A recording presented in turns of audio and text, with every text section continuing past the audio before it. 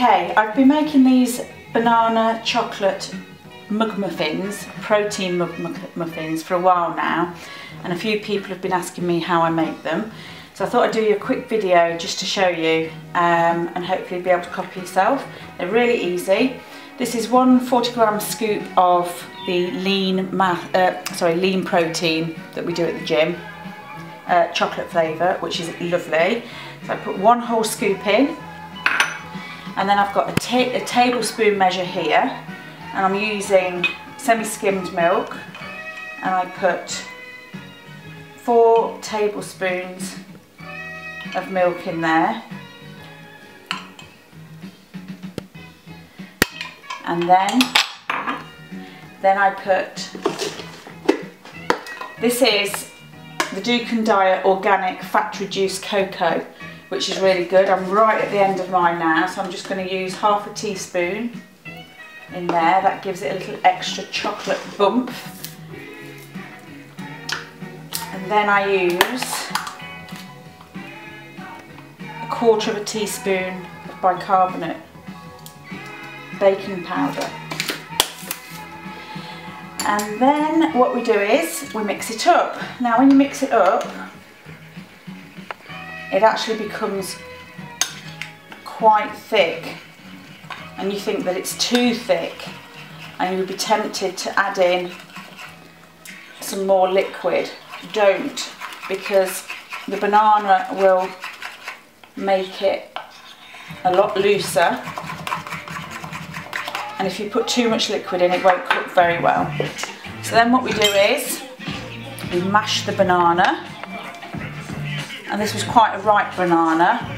You only have to roughly mash it because it's nice to have some nice banana chunks in there. So I'm mashing it like so. And then we add it to your chocolate milk, cocoa powder, powder mixture. And then we give it a good mix. As you can see, it's loosened up nicely. Smells delicious as well. Smelly can.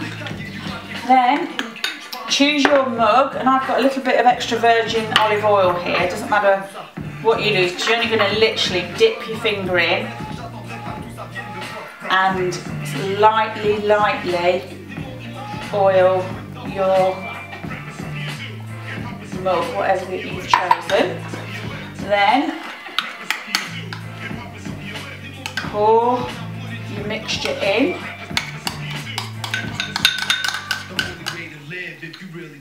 There we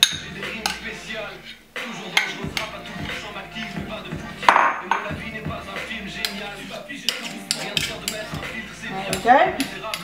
And you're all ready to rock and roll. So what I'm going to do now is I'm going to put it in the microwave for one and a half minutes. We'll see you in a minute. Okay, it's been in for 1 minute 30 seconds. Let's take a look.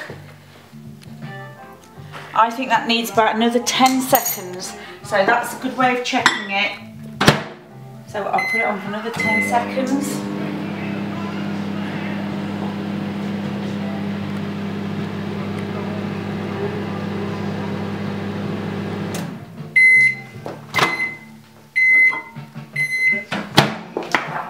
And that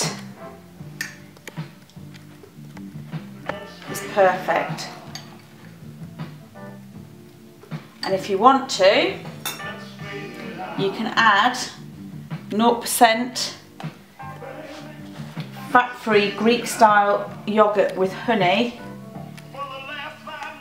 which is absolutely delicious. Now if you want yours slightly firmer just add another 10 seconds or another 20 seconds and voila let's have a taste. delicious.